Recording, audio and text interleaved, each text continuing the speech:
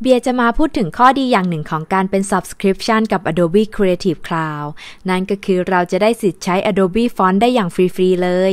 ทีนี้เดี๋ยวเรามาดูข้อดีของ Adobe Font กันคร่าว ๆ นะคะ แน่นอนว่าฟอนต์เป็นส่วนหนึ่งของงานดีไซน์ ที่สามารถช่วยสื่อความหมายของงานได้ลงตัว และทำให้งานน่าสนใจมากขึ้น ซึ่ง Adobe Font ก็มีแบบฟอนต์ให้เลือกใช้มากกว่า 1,000 แบบกันเลยทีเดียว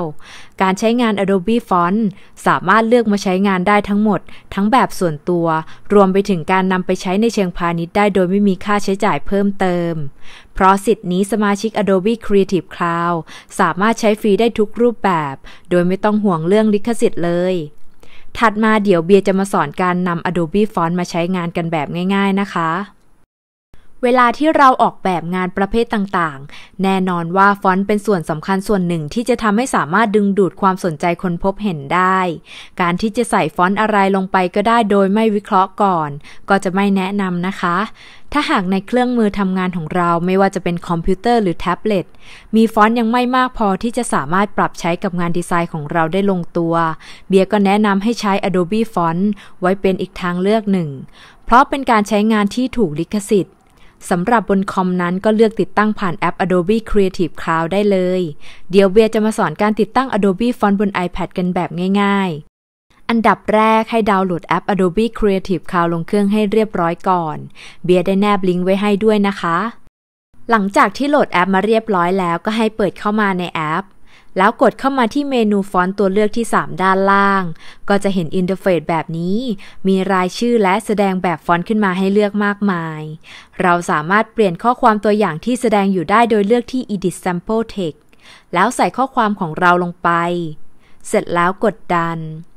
ทีนี้เราก็จะเห็นข้อความตัวอย่างถูกอัปเดตขึ้นมาแสดงใหม่แล้ว ส่วนเมนูฟิลเตอร์ฟอนต์นั้นจะเป็น option ให้เราเลือก เพื่อใช้กรองฟอนต์ให้ใกล้เคียงกับแบบที่เราต้องการมากที่สุด ตรง Weight จะเป็นความหนาของฟอนต์เบียร์จะเลือกเป็นแบบหนาสุด ตรง Width เป็นความกว้างของฟอนต์เบียร์ก็จะเลือกเป็นแบบแคบสุด ส่วนตรง classification จะเป็นประเภทของฟอนต์รูปแบบต่างๆ เวลาที่เราปรับตัวเลือกที่ฟิลเตอร์นี้ รายการแบบฟอนต์ก็จะถูกอัปเดตให้เห็นแบบ real-time เลยนะคะ เดี๋ยวเบียร์จะเลือกเป็นแบบ decorative ลองเลื่อนๆดูแบบฟอนต์ชอบหรือถูกใจแบบไหนก็กดเลือกได้เลย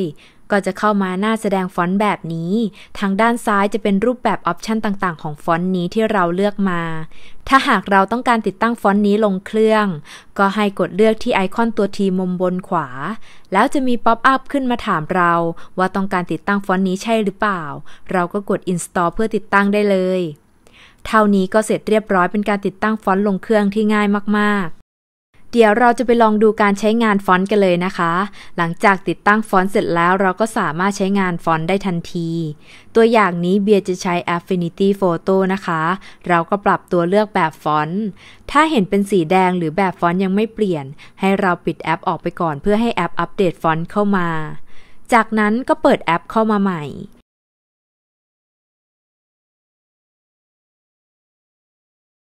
แล้วเปลี่ยนแบบฟอนต์อีกครั้ง เราจะเห็นว่าฟอนต์ได้ถูกเปลี่ยนเรียบร้อยแล้ว การลง Adobe Font แบบนี้ ฟอนต์จะถูกติดตั้งให้ใช้งานได้ทุกแอปบนเครื่องของเราเลย ไม่ใช่แค่ Affinity เท่านั้น ใครใช้ Procreate Keynote Pages Microsoft หรือ GoodNotes ก็เรียกใช้งานแบบฟอนต์จาก Adobe Font ได้ทั้งหมด การติดตั้งแบบนี้จะไม่ทำให้การใช้งานแอปหน่วงอีกด้วย ถ้าใครติดตั้งฟอนต์ลงแอปแต่ละแอปโดยตรง จะทำให้มีปัญหาแอปหน่วงในอนาคตนะคะ เบียร์ก็หวังว่าคลิปนี้จะมีประโยชน์กับหลาย ๆ คน ขอให้สนุกกับการใช้ฟอนต์สวย ๆ ในการทำงานนะคะ